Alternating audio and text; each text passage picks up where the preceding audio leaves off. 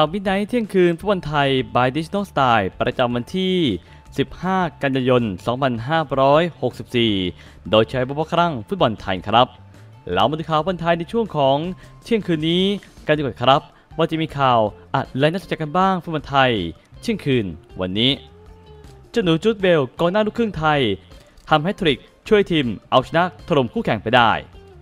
โดยการที่ทางเจ้าหนูจูดสุนทรัพย์เบล กองหน้าลูกครึ่งไทยอังกฤษวัย 7 ปี คือส่วนสำคัญพาทีมเชลซี U19 ปี เอาชนะเซนิตเซนต์ปีเตอร์สเบิร์กไป 3 ต่อ 1 ในศึกฟุตบอลยูฟ่ายูทลีกนัดเมื่อคืนที่ผ่านมา โดยจูดเบลกองหน้าหมายเลข9ของทีมเชลซีกำลังถูกทาบทามจากทางมาดามแป้ง ร่วมทีมชาติไทย ทั้งชุด U23 ปี รวมถึงทีมชาติไทยชุดใหญ่ ซึ่งก่อนหน้านี้ทางเซนเซอากิระนิชิโนะได้ทาบทามเขาคนนี้เข้าสู่ทีมชาติไทยชุดใหญ่มาแล้ว ในทัวร์นาเมนต์คัดบอลโลกเอเชีย ที่ประเทศสหรัฐอาหรับเอมิเรตส์มาแล้ว แต่ตอนนั้นเขาให้ผลมาว่าเขาไม่สามารถที่จะเข้าร่วมทีมชาติไทยได้ เนื่องจากได้รับอาการบาดเจ็บ ซึ่งเกมนี้ทีมเยือนเซนิตเซนต์ปีเตอร์สเบิร์กมาได้ประตูขึ้นนำเร็วไป1ต่อ0จากทางเอฟฟินี่คิม ซึ่งจบครึ่งแรกเชลซีตามหลังเซนิตไป0ต่อ1เข้าสู่ครึ่งหลังเชลซีมาได้ประตูตามตีเสมอสำเร็จเป็น1ต่อ1จากทางชาเรสชิลเวสเตอร์จากนั้นนาที69 เชลซีก็ได้ประตูพลิกขึ้นนำ2ต่อ1 จากการทำเข้าประตูของคาร์วีบราวเพียงหนึ่งนาทีต่อมาเจ้าหนูจูดสุนทรัพย์เบลนะฮะ กองหน้าลูกครึ่งไทยก็มายิงประตูชัยให้กับทีมนำห่างไปเป็น 3 ต่อ 1 กับเกมนัดเมื่อคืนนี้ ซึ่งงานนี้จบเกมเชลซีชุด U19 ปี เปิดรังถล่มเอาชนะเซนิตเซนต์ปีเตอร์สเบิร์กไป 3 ต่อ 1 คว้า 3 คะแนนสำคัญครับสำหรับโปรแกรมนัดต่อไปของเจ้าหนูจูดเบลลุ้นลงสนามกับทางทีมเชลซีชุด U23 ปี เปิดบ้านรับการมาเยือนของอาร์เซนอลในวันที่ 19 กันยายนที่ถึงนี้มานะผมเป็นแต่ว่างานนี้ที่บอกว่าทำแฮตทริกนั่นก็คือ ทั้งจ่ายให้เพื่อนยิง แล้วก็จัดการทำให้ทางฝ่ายตรงข้ามนั้นยิงเข้าประตูตนเอง และสุดท้ายเจ้าหนูสุนทรัพย์เบลนะฮะเป็นคนยิงนั่นเอง เป็นการแฮตทริกใน 3 รูปแบบ ไม่ใช่แฮตทริกเพราะยิงเข้า 3 ลูกนะครับ เดี๋ยวเข้าใจผิดกันไป ก็ฝากติดแฮชแท็กเชียร์ไทยเชียร์ไม่เลิก เชียร์เจ้าหนูสุนทรัพย์เบลคนนี้กันด้วยนะครับ แล้วมาดูข่าวต่อมากันดีกว่าครับ ทุบแล้วทุบอีกประตูนาโกย่าทำลายสถิติตลอดกาลเจลีก ก่อนจะดวลกับทางโกอุ้ม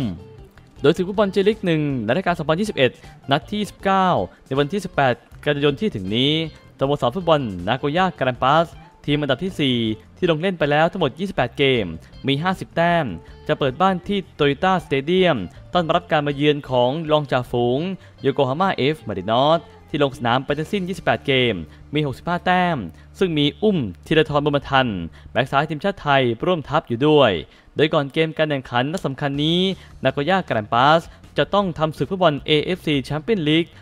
2021 รอบ 6 ทีมสุดท้าย ในบ้านของตนเอง กับทางเดกู FC ในวันที่ 14 กันยายนที่ถึงนี้ จะเตะกันเวลา16นาฬิกาโดยหลังจบศึกฟุตบอลชิงแชมป์สโมสรเอเชีย นาโกย่าแกรมปัสเอส จะเปิดบ้านเล่นฟุตบอลเจลีกกับทางโยโกฮาม่าเอฟมารินอสต่อทันทีในวันที่ 18 กันยายน ซึ่งล่าสุดจอมหนึบทีมชาติออสเตรเลีย ที่เคยผ่านประสบการณ์เฝ้าเสา ให้กับทางบริษัทดัตมุน อย่างทางมิเชล รังเกลัดทำลายสถิติตลอดการเจลีก และก็ทำลายสถิติการเฝ้าเสาของตนเองในศึกฟุตบอลเจลีกในเรื่องของการเก็บคลินชีตได้มากถึง 18 เกมในรายการนี้ โดยสถิติเดิมตลอดการที่บันทึกเอาไว้ก่อนหน้านี้ เป็นตัวเขาเองนะฮะที่ทำไว้ทั้งหมด 17 คลินชีตจากฤดูกาล 2020 ที่ผ่านมาสำหรับศึกฟุตบอลเจลิกหนึ่งในรายการ 2021 นั้น นัดที่ 29 ก็ทางสโกสอนอานาโกย่าการันปัส จะเปิดบ้านเล่นกับทางโยโกฮาม่าเอฟมารินอสเวลา7นาฬิกา ซึ่งเกมแรกที่พบกับทางกัมบะโอซาก้า บุกพ่ายมารินอสไป 0 ต่อ 2 โดยเกมคู่นี้ จะทำการถ่ายทอดสดทางช่อง YouTube สยามสปอร์ตเช่นเดิมนะครับ ใครแฟนพวกเขาตามติดรับชมแล้วก็ร่วมเชียร์กันได้เรามาดูข่าวต่อมากันดีกว่าครับ นายกสมาคมเผย หนทางเดียวที่ไทยจะได้เป็นเจ้าภาพ AFF ซูซูกิคัพในครั้งนี้ได้ โดยงานนี้ทางพลตำรวจเอกดรสมยศพุ่มพันธุ์ม่วงบิ๊กอ๊อดนายกสมาคมฟุตบอลไทยนะฮะ มั่นใจมาว่าประเทศไทย มีข้อที่ได้เปรียบชาติอื่น ในการเสนอตัวเป็นเจ้าภาพจัดฟุตบอล AFF ซูซูกิคัพ2021 ในครั้งนี้ เพราะมีประสบการณ์เคยจัดรายการใหญ่ อย่างฟุตบอลอายุไม่เกิน 23 ปี ชิงแชมป์เอเชีย 2020 รวมถึงการเป็นเจ้าภาพฟุตบอล AFC Champions League 2021 รอบแบ่งกลุ่ม ซึ่งจัดแบบบับเบิลภายใต้มาตรการการควบคุมการแพร่ระบาดโควิด -19 ซึ่งประสบความสำเร็จอย่างดี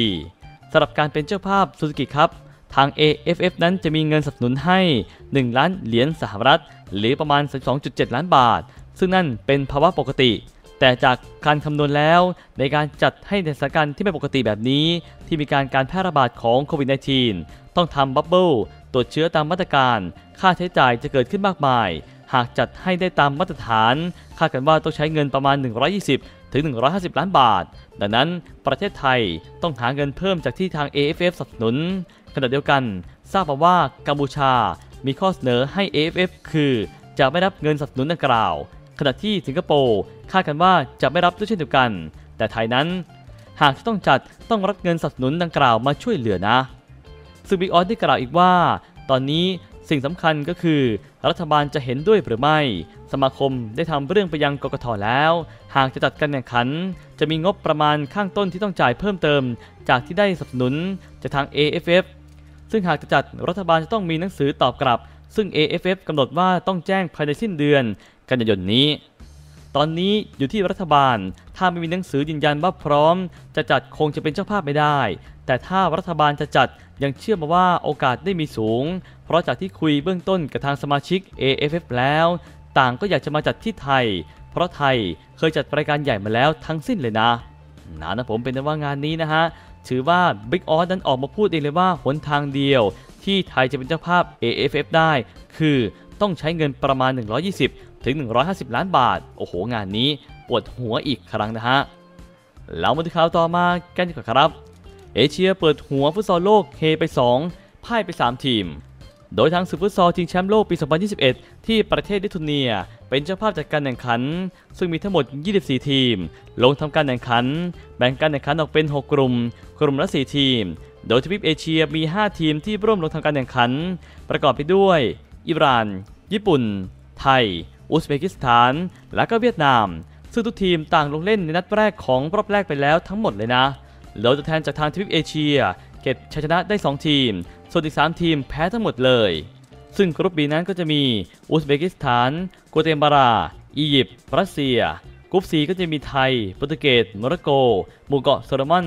กรุ๊ป D ก็จะมีเวียดนาม บราซิล ปานามา เช็กกรุ๊ป E ก็จะเป็นญี่ปุ่น สเปน แองโกลาปารากวัย และกรุ๊ป F ก็จะเป็นอิหร่าน อาร์เจนตินาเซอร์เบีย และก็อเมริกา ซึ่งผลการแข่งขัน นัดแรกทีมจากทางเอเชียฟุตซอลโลกปี 2021 ในครั้งนี้ ก็จะมีคู่ของอุซเบกิสถาน แพ้กัวเตมาลาไป 4 ต่อ 5 ไทย แพ้โปรตุเกสไป 4 ต่อ 4 เวียดนาม แพ้บราซิลไป 1 ต่อ 9 ญี่ปุ่น